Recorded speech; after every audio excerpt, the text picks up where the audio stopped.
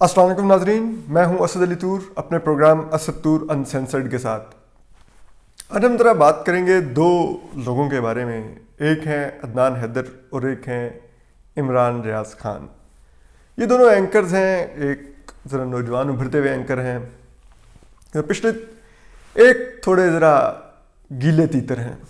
तो हम आज आपको इन दोनों का बताते हैं और ये भी बताते हैं कि जो कंट्रोवर्सी है वो क्या है और आपको हम ये भी बताएँगे कि इमरान रियाज खान कौन है। इनकी असलियत भी हम आज आपको बताएँगे। और हम कुछ ज़रा, मैं अपने कुछ जो सीनियर्स हैं, उनका भी कंपैरिजन करना चाहूँगा कि कौन लोग हैं जो क्रेडिबल होते हैं और क्यों क्रेडिबल होते हैं और हम क्यों उनकी इज़्ज़त करते हैं। तो तरह एक आपको आज ये मुआजना भी करके देते हैं। सबसे पहले आ जाते हैं कि जो कंट्रोवर्सी है कंट्रोवर्सी ये है कि अदनान रियाज इमरान रियाज खान अदनान हैदर के प्रोग्राम में गए। वहाँ पर उन्होंने आर्मी चीफ के समधी के भाई बिट्ठू पर इल्ज़ाम लगाया कि वो डीएचए में तमाम मामला डील करते हैं, उनके बगैर पत्ता नहीं हिलता, और वो कुछ ऐसा तासर दिया जैसे वहाँ पे वो कोई, वो कब्ज़ा माफिया या करप्ट इंसान है। और फिर अदनान हैदर ने भी इसको थोड़ा मज़ीद उनसे पूछा। उन्होंने रिपीट के इल्ज़ाम प्रोग्राम आया गया होगा। उसके बाद अदनान हैदर ने लोगों को कॉल्स करनी शुरू की, रोना शुरू किया कि तो मुझे निकाल दिया है इस प्रोग्राम की वजह से।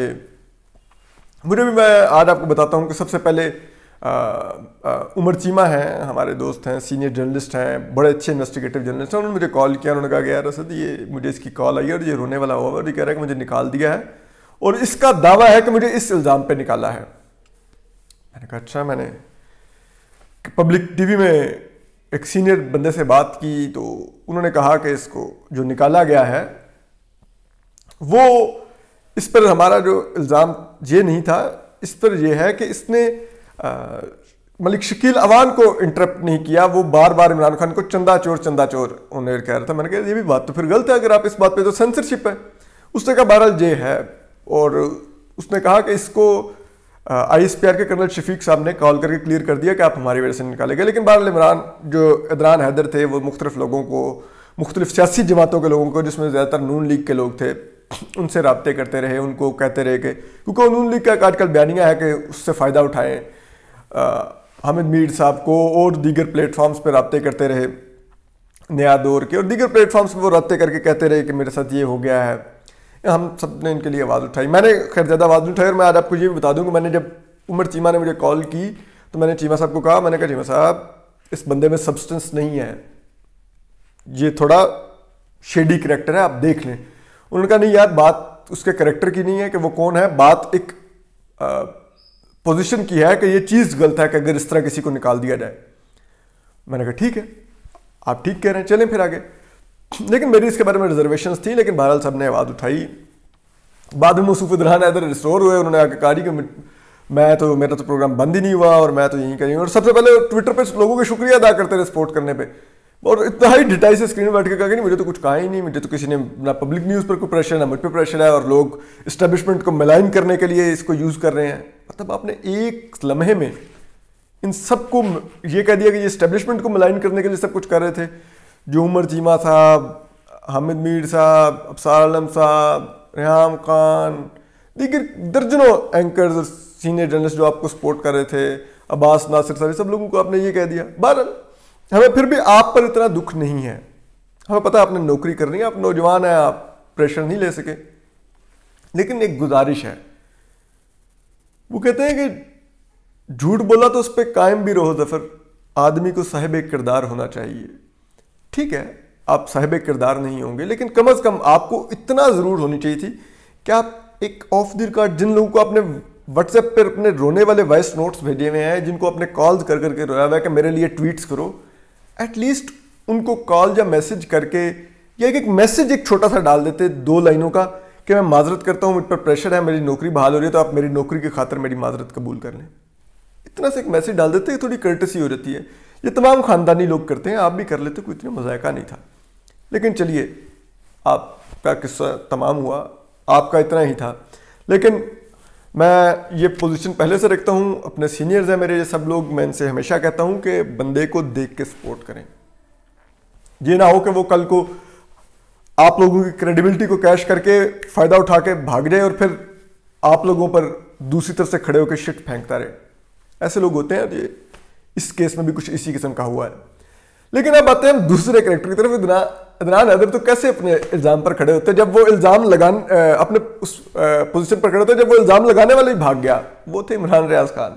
उन्होंने कल बैठ के बड़ा, उन्होंने कहा, जी देखे, सहाफ़ी ये नहीं करते, लेकिन मैं ये अखलाकी भाई, तुम्हारा अखलाकियात। मैं बता रहा हूँ, जी मैंने एक स्टोरी दी बगैर तहकीकात के दे दी। और मैंने चेक नहीं किया था मुझे एंकर ने इंस्टिगेट किया उसने मुझे कहा तो मैंने समझा कि मुझे कह वो कहना चाह रहा कि मैं डरता हूँ तो मैंने वो नाम ले लिया ये वो। अरे भाई खुदा का खौफ करें। वो कल आ, एंकर हैं अबसा कोमल सहाफ़ी हैं उन्होंने बड़ा सही बात की। उन्होंने कहा इसका मतलब है सियासतदानों के बारे में स्टोरीज तहकीकत के बगैर देते हो। जी बिल्कुल ऐसे ही करते हैं आप देखिए, इन्होंने अपने प्रोग्राम में ये अपनी इतने अखलाकियात हमें बता रहे हैं कि मैं बड़ा अखलाकी कद काट वाला इंसान हूँ, मेरे से गलती होगी बगैर तहकीकात के स्टोरी की तो मैं उसको आज कन्फेस भी कर रहा हूँ। आपने ऑन एयर इंतहाई घटिया तरीन रवैया इख्तियार किया। पॉलिटिशन हैं पलवशा खान उनसे। आपने क्या पलवशा बहराम खान से माफ़ी मांगी? ऑन एयर ये कर्टिसी दिखाई? सबने आपको सोशल मीडिया पर कंडेम किया आपके उस रवैये को। अक्रॉस द बोर्ड तमाम सियासी जमातों, तमाम सहाफ़ियों ने, तमाम सीनियर एंकर्स ने आप में गैरत नहीं आई एक लम्हे के लिए। बल्कि आपने डट के और चीज़ों से कहा कि हाँ मैंने ठीक किया उसके साथ। ये है आपका किरदार। आप हमें बताएँगे, हमें पता नहीं आप किस नस्ल से ताल्लुक रखते हैं। हम बहुत अच्छी तरह जानते हैं। आपने कितनी ऐसी स्टोरीज की हैं? कभी किसी पे माफ़ी मांगी है? किसी सिविलियन के ऊपर आपने स्टोरी की हो? हम जानते हैं। ये स्टोरी करना सहाफ़ी का काम होता है और फिर अपनी स्टोरी पर कायम रहना। उसके लिए आपका सहाफ़ी होना चाहिए। आपने रिज्क हिलाल खाया होना चाहिए। आपके खून में हिलाल दौड़ रहा होना चाहिए। आपके कोई ऐसे शौक नहीं होने चाहिए कि जिनकी बिना पर आप कुछ लोगों के आगे आपकी एक आँख बंद हो जाती हो। आप दोनों आँखें खोलकर उनसे बात ना कर सकते हो, सर उठा के बात ना कर सकते हो। आपने कोई ऐसे फ़ायदे ना उठाए हों कि आप किसी के सामने सर उठा के खड़े होकर बात कर सके। हम जानते हैं कि आपका कबीला कौन सा है। जब आप किसी के टुकड़ों पर पल रहे हो तो आप उसके आगे आँखें नहीं उठा सकते। उसके बारे में बात नहीं कर सकते। बात कर सके तो दूसरे दिन वो आपको एक फ़ोन कॉल करके थप्पड़ मारता तो आप ज़मीन पर लेटे हुए नज़र आते हैं। हमने इससे पहले भी देखा। टीएलपी ने एक दफ़ा आँखें दिखाई थी। बाद में ढिल्लू साहब की क्या वीडियो आई थी? वो जो गुजरात वाले हैं, आलम, कि वो मुझसे गलती होगी, मैंने ये कर दिया, हमने देखे हुए हमने वो भी देखे हुए हैं, जो लोग इनके बारे में बातें करते हैं, और फिर किस तरह से वो, उनका एक टर्म है कि सॉफ्टवेयर अपडेट हो जाता है। सिर्फ़ रिस्क हिलाल खाने वालों का सॉफ्टवेयर अपडेट नहीं होता। मैं आपको कुछ मिसालें देता हूँ। आप मतीउल्ला जान को देखिए। ये इस्लामाबाद के बीच चुराहे से उठाए गए उससे पहले दो दफ़ा उनकी गाड़ी पर हमला हो चुका था। उनकी फैमिली के साथ उन पर हमला किया गया। वो अपनी, उनकी गाड़ी में उनकी फैमिली बैठी हुई थी, उनकी बेगम बेटी थी। लेकिन वो घबराए नहीं। यहाँ तक कि उनको उठाया भी गया, वो घबराए नहीं। आज भी जहाँ पर पहले खड़े थे, आज भी उसी पोजिशन पर खड़े हैं। आपने उनकी गाड़ी देखी है? किस तरह की है? उनका घर जाके देखे? किस तरह का है? मैंने देखा हुआ है। मेरे मेंटोर हैं। देखा है? ये होती है सहाफत ये जो चार चार कनाल के फार्म हाउस बनते हैं ना, जिनमें महँगी महँगी गाड़ियाँ खड़ी होती हैं, वो रिज्क हिलाल से नहीं बने होते। हम जानते हैं वो किस तरह से बनवाए जाते हैं, किस तरह से टुकड़े डाले जाते हैं और फिर वो घर खड़े होते हैं। और फिर उन घरों में बैठ के आप लोग यूट्यूब पर गलाजत बिखेरते हैं, झूठे इल्ज़ाम लगाते हैं। हम जानते हैं आपकी औकात। सहाफ़ी हम आपको बताते हैं कौन होते हैं। हामिद मीर हैं। आज भी जिसम में एक गोली लेकर चलते हैं। छः गोलियाँ मारी गई थी। आज भी इधर ही सहाफ़त कर रहे हैं। प्रोग्राम करते हैं, आते हैं, जाते हैं। मिलते हैं, बड़ी शफकत से, प्यार से मिलते हैं हमें। ये होता है सहाफ़ी। एक गोली जिसम में लेके फिर रहे हैं, लेकिन सहाफ़त कर रहे हैं। उमर चीमा है। दो दफ़ा मारपीट की गई, अगवा किया गया। सारा जिसम नील कर दिया गया मार मार के। आज भी सहाफत कर रहे हैं। डटे हुए अपनी पोजीशन पर। कोई यू टर्न नहीं लिया। ये नहीं कहा कि वो मैंने बगैर तहकीकात के स्टोरी तहकीक के स्टोरी दे दी थी। क्योंकि वो स्टोरी किसी और के बारे में थी, किसी सिविलियन के बारे में नहीं थी। अब सार आलम साहब हैं। गद्दारी का पर्चा आप तहरीक इंसाफ के इमरान खान साहब, आप कारकुन हैं, खुद को कहते हैं आप सहाफ़ी और एंकर हैं, लेकिन उसके कारकुन हैं। आपकी ही एक हम जमात ने उन पर गद्दारी का मुकदमा दर्ज करवाया है झेलम में। जमानत तक नहीं करवाई, कहते हैं, घूम रहा हूँ, जो करना है, किसी ने कर लिया, अगर हम गद्दार हैं तो फिर आके कर ले, जिसने जो करना है। इधर ही है। चेयरमैन पैमरा थे, डट के टेप्स चलाई, जब उनको एजेंसी के लोगों ने, पैमरा के ऑफिसर्स को धमकाने की कोशिश की। उन्होंने टेप्स चलाई उनकी ऑडियो टेप्स लाइव कभी उस पर माफ़ी नहीं मांगी। खड़े में आज अपनी पोजीशन पर। मैं अंबर शमसी के साथ काम करता था। मैंने उनसे बेहतरीन उम्दा खातून नहीं देखी, उम्दा सहाफ़ी नहीं देखी, खातून सहाफ़ी, जितनी वो बेहतरीन और उम्दा खातून सहाफ़ी हैं। और उतनी ही बेहतरीन इंसान है। इस हाइब्रिड रजीम को इस निज़ाम के बारे में प्रोग्राम करती थी। मैं तो खैर एक नामालूम शख्स हूँ, मैं भी वैसे ही बेरोज़गार हो गया उस चक्कर में, लेकिन वो बेरोज़गार हुई अभी तक उनको रोज़ कहीं किसी टीवी चैनल ने रखने का हौसला नहीं दिखाया। लेकिन उन्होंने बैठ के कोई वीडियो नहीं कही कि मुझसे गलती होगी। ये सहाफ़ी होते हैं। और ये आपने पहली दफ़ा झूठ नहीं बोला। आपने तीतरों का गैर कानूनी शिकार किया और तस्वीरें लगाई, बड़े फख्र से जुर्म की, अपने जुर्म की तस्वीरें लगाई और जब लोगों ने उस इशू को सोशल मीडिया पर उठाया तो आपने इतनी बदयांती से, इतनी डिटाई से झूठ बोंगा, तब भी बैठ के माफ़ी मांग रहे थे कि हाँ मैंने अपनी मुझे में गैरत नहीं थी, मुझसे ये गलती होगी, मैं माफ़ी माँगता हूँ, आज के बाद ज़िंदगी में कभी शिकार नहीं करूँगा। आप एक जानदार का शिकार करता, फिर बैठ के हमने कहा कि नहीं, वो फ्रिज से लगाए हुए किसी ने गीले तीतर मेरी गाड़ी पर रख दिए थे और तस्वीरें बना ली। यार, कुछ शर्म होती है। ये तो बहुत ही कभी फेल है, आप किसी जानदार को मारें। और आपका ये शौक है, इतने आप घटिया और गलीज इंसान हैं।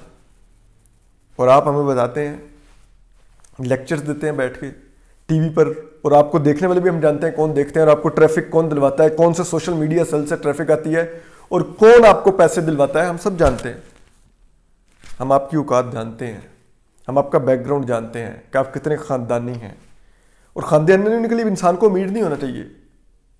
आपका रख रखाव, आपके अंदर दौड़ने वाला खून बता देता है कि आप कितने ख़ानदानी हैं।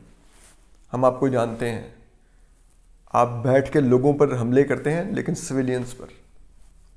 और हमें पता है क्या है, आपने कितनी स्टोरीज की हैं बाय द वे बताएँगे आप?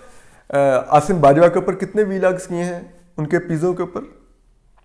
आप बताएँगे ट्रांसपेरेंसी इंटरनेशनल पे जो, जिस तरह से हुकूमत ने झूठ बोला, उस पर कितने आपने किए हैं वीलॉग्स हम जानते हैं आप। क्या है और आपकी औकात क्या है? बहुत अच्छी तरह जानते हैं। तो बर मेहरबानी। वैसे तो हमें पूरा यकीन है, हमें आप पर एतमाद है कि आप में गैरत नाम की चीज़ नहीं, वरना आप ये फ़ील्ड छोड़ के अब कुछ और करने लगेंगे आप यही करेंगे क्योंकि आपको ये जो सहाफ़त का मुकदस पेशा है, आपने उसको धंधा बना लिया है। और धंधे के थ्रू आप जो कर रहे हैं, वो हम भी जानते हैं, आप भी जानते हैं। जो आपके मशागल हैं, वो भी हम जानते हैं, जो शौक़ हैं आपके, वो भी हम जानते हैं। किन के ज़रिए आप पूरा करते हैं, वो भी हम जानते हैं। और उस वजह से आप सर भी नहीं उठा सकते, ये भी हम जानते हैं।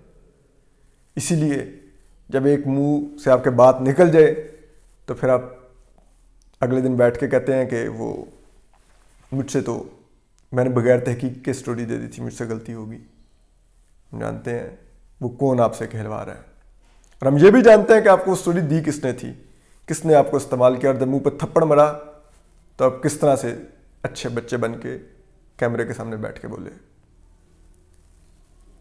आप में, हम फिर बताएँगे, सिर्फ़ सहाफ़ी होता है जिसमें ज़रूरत होती है, जिसमें अपनी स्टोरी पर कायम रहने की ज़रूरत होती है। ठीक है, गलती हो जाए करेक्ट करें। आप बता दें माने ये अच्छी बात है। लेकिन ये फिर सिर्फ़ एक केस में नहीं होना चाहिए, दीगर भी माननी चाहिए। और हम जानते हैं कि आप क्या हैं। बहरहाल, आज तक के लिए असद अली थूर को इजाज़त दीजिए, असद तूर अनसेंसर्ड से। अपना ख्याल रखिए, खुश और सलामत रहिए। अल्लाह हाफिज़।